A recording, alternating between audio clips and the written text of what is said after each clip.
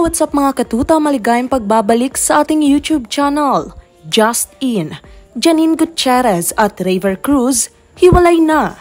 Narito ang mga nagbabagang balita na hatid sa inyo ng katotohanan, showbiz. Isang nakakagulat at nakakalungkot na balita ang usap-usapan ngayon sa social media. Tila sunod-sunod nga ang hiwalayan ngayong panahon ng maraming celebrity couple dahil ngayon lamang nga ay nadagdag na naman sa listahan ang magkarelasyon na sina Janine Gutierrez at River Cruz.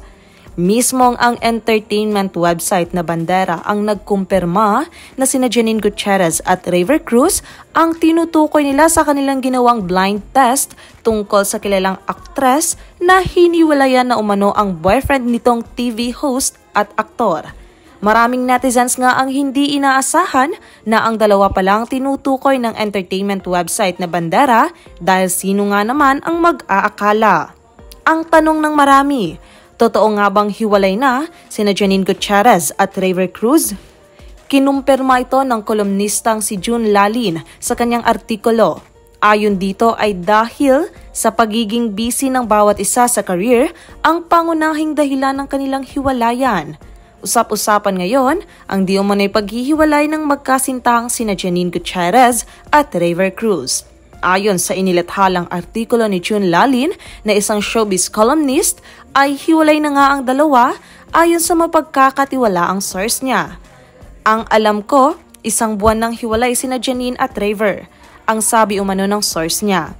Hindi third party kundi ang kakulangan sa oras ng isa't isa ang tinuturong dahilan ng kanilang hiwalayan. Ang alam ko, kulang sa oras para sa isa't isa, sina Janine at Raver. Kaya ang kwento rin sa akin, mutual yung decision nila na maghiwalay na lang. Eh ngayon kasi, dahil sa COVID-19 pandemic, lock-in ang mga projects sa showbiz, kaya halos hindi na nagkikita sina Janine at Raver. So nauwi na sa hiwalayan yung relasyon nila.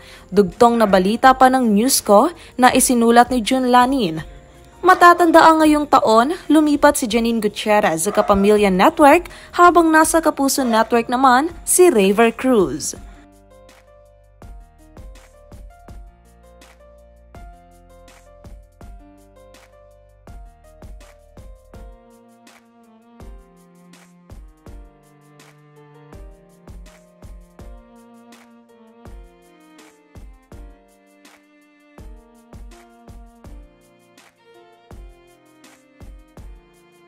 So that's it mga katuta, what can you say about this? Share mo naman sa ating comment section.